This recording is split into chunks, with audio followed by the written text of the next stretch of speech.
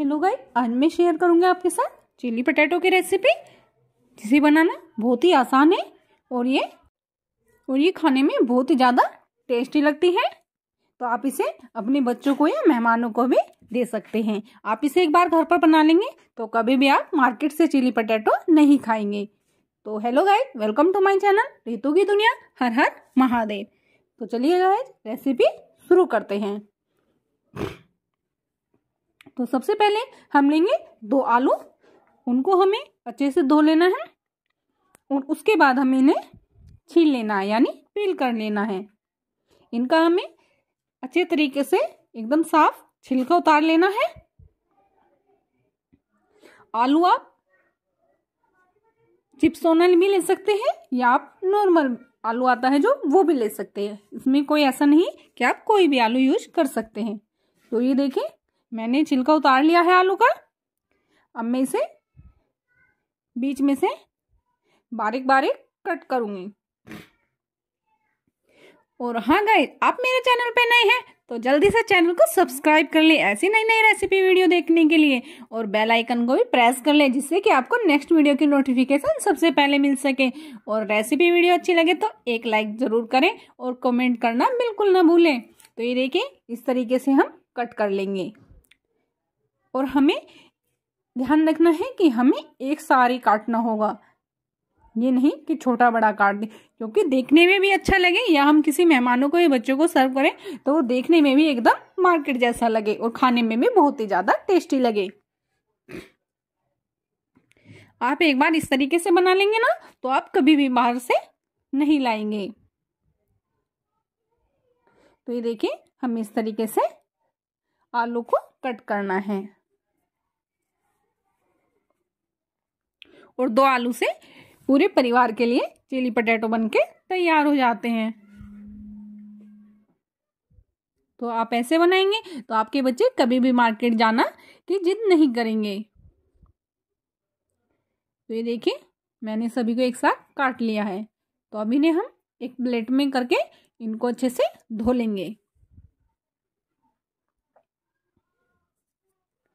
तो गाय मैं इन्हें पानी में अच्छे से दो से तीन बार वॉश कर लूँगी। तो ये देखिए, मैंने इनको अच्छे से धो लिया है। तो चलिए अब आगे का प्रोसेस करते हैं। तो अब मैंने गैस पर रख दी है। एक भिगोना। आप कोई भी बर्तन ले सकते हैं, उसमें मैंने दो गिलास पानी डाल दिया है। पानी को हमें अच्छे से बॉईल करना होगा। तो हमें पानी में हल्का सा ये देखिए, गर्म उबाल आने लगा है और पानी भी हमारा अच्छे से गर्म हो गया तो इसमें हम फ़ूड कलर डाल देंगे। इसमें मैं तीन से चार ड्रॉप्स डाल दूँगी। आपके पास कोई भी फ़ूड कलर है तो आप उसको डाल सकते हैं। तो ये देखिए, इस तरीके से हम फ़ूड कलर डाल के बनाएँगे क्योंकि जो चिली पटेटो है, उसमें फ़ूड कलर ही डलता है। और आपके पास फ़ूड कलर नहीं है तो आप उसको नॉर्मली भी ऐसे बना सकते हैं। फ़ूड कलर स्किप करके। तो ये देखिए, अब ये अच्छे से गर्म हो गया है पानी और हल्का सा इसमें उबाल भी आने लगा है। तो हम इसमें आलू को डाल देंगे। तो देखिए, मैं इसमें सभी आलू को डाल दूँगी और इसे हम अच्छे से चमचे से चला लेंगे। इसे हमें अच्छे से उबाल लाना है और हाँ गाइस आलू को हमें एटी परसेंट ही पकाना होगा। हमें आलू को पूरा नहीं पकाना है।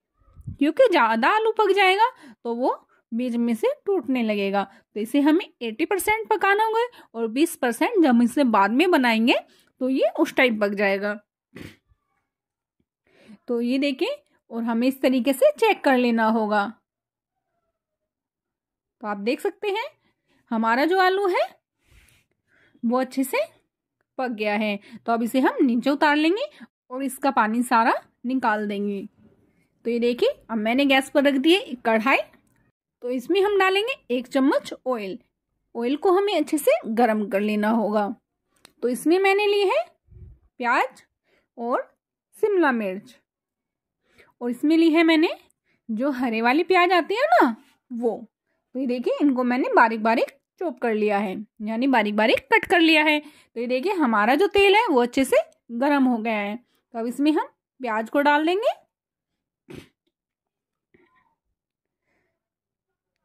तो इसे हम अच्छे से चलाएँगे और हमें प्याज को ब्राउन नहीं करना है, यानी हमें प्याज को ज़्यादा नहीं पकाना है, इसे हमें हल्का ही पकाना होगा। तो ये देखिए, प्याज हमारी हल्के से पक गई है।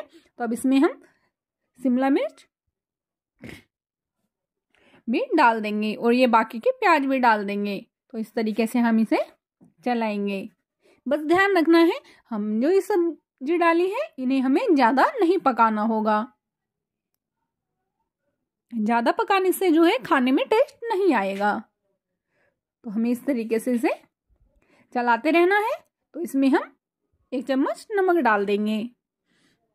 नमक आप स्वाद अनुसार भी डाल सकते हैं। अब इसमें हम आधा चम्मच लाल मिर्च पाउडर डाल देंगे। और इसे अच्छे से चला लेंगे। यानी इसमें जो नमक मिर्च है वो अच्छे से लग जाए। अब इसमें हम सोया सॉस डाल देंगे। ये मैंने एक चम्मच इसमें सोया सॉस डाल दी है। और अब ये सब में वेनेगर डाल देंगे। वाइट वेनेगर तो ये देखिए, एक चम्मच ही हम इसमें वाइट वेनेगर डालेंगे। और अब हम लेंगे आधा कटोरी टोमेटो केचप क्योंकि जब हम चिली पटेटो बनाते हैं तो उसमें टोमेटो केचप ज़रूर डालते हैं। तभी एकदम मार्केट जैसा टेस्ट आता है। तो ये देखिए, इस तरीके से हम इसे चला लेंगे। दो से तीन बार और फिर इसमें हम आलू डालेंगे, जो हमने उनको पकाया था, यानी उबाला था। तो मैंने इनका आलू का पानी निकाल ही दिया था, छलनी में छान के। तो ये देखिए, इस तरीके से हम इन्हें चलाते रहेंगे। इन्हें हमें ज़्यादा देर नहीं चलाना होगा। तो अब इसमें हम जो हरी प्याज थे बारीक बारीक कट किया था, उसको भी डाल देंगे। और थोड़ी सी हम उसे बचा के रख लेंगे गार्निशिंग के लिए। तो ये देखिए, इस तरीके से हम इसे चलाते रहना है। और हाँ गाइड इसे हमें धीमी आँच पर ही पकाना होगा। तो आप देख सकते हैं कितना अच्छा कलर है एकदम मार्केट जैसा। और ऐसा ही जितना आपको ये देखने में अच्छा लग रहा है, उससे ये कई गुना खाने में अच्छा लगेगा। तो अब इसे अच्छे से पक गया तो नीचे उतार लेते हैं गैस से। तो ये देखिए, मैंने प्लेटिंग कर दी है। अब इसे हम खाने के लिए तैयार कर रहे हैं। तो ये देखिए, इसमें मैंने गार्निशिंग के लिए जो प्याज बचा के रखे थे ना, हरी वाले, उसको डाल दिया है। तो गाइज़ आपको ये रेसिपी वीडियो कैसी लगी? मुझे कमेंट करके बताएँ। और वीडियो को लाइक शेयर कमेंट करना बिल्कुल भी ना भूलें। और मिलते हैं आपसे नेक्स्ट वीडियो तो तब तक के लिए बाय बाय और हर हर महादेव। और हाँ चैनल को सब्सक्राइब कर